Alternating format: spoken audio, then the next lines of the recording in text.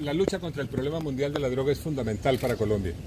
El narcotráfico, las drogas, las drogas ilícitas son el combustible que está alimentando la violencia. Por eso estamos acá hoy con las fuerzas militares, con el legislativo colombiano, para dialogar con las comunidades, para anunciar medidas adicionales que le permitan a Colombia avanzar eficazmente contra el problema mundial de la droga.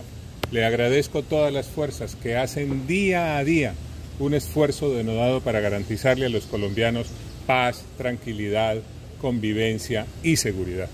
Señor ministro, dentro de este trabajo contra el narcotráfico, ¿continúa el gobierno nacional con el tema de la expresión aérea?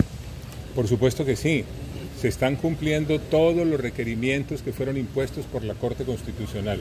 Pero además hay que decir lo siguiente, este no es un debate sobre un herbicida, es un debate sobre el narcotráfico porque está probado que el narcotráfico mata, el narcotráfico destruye el medio ambiente, el narcotráfico envenena las fuentes de agua, el narcotráfico alimenta la corrupción, el narcotráfico desconoce los derechos humanos, el narcotráfico lleva al asesinato de líderes sociales, el asesinato de líderes sociales lo rechazamos todos los colombianos y para avanzar en la defensa de nuestros compatriotas tenemos que avanzar en la lucha contra el narcotráfico. Por eso estamos aquí hoy, con todas las fuerzas, mirando cómo va el avance y además reiterando que por supuesto la aspersión regresará con pleno cumplimiento de los requisitos que fueron definidos por la Corte Constitucional.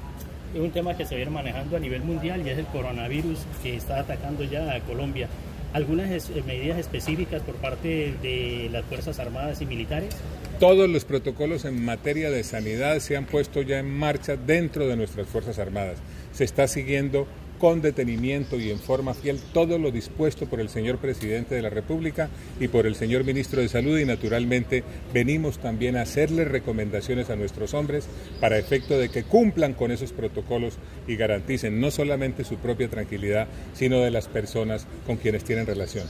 Hoy usted escuchará a los alcaldes de Telemí, también viene trabajando con el gobierno departamental. ¿Cómo se unirán estos esfuerzos con la fuerza pública? Vamos a escucharlos, vamos a escucharlos a tomar medidas adicionales como consecuencia del Consejo de Seguridad que tendrá lugar y una vez termine ese Consejo de Seguridad, por supuesto que le daremos a conocer al país las decisiones que se adopten.